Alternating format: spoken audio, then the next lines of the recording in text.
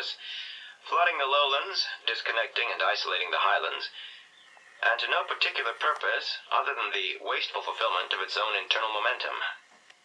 Some channel deepening seems called for.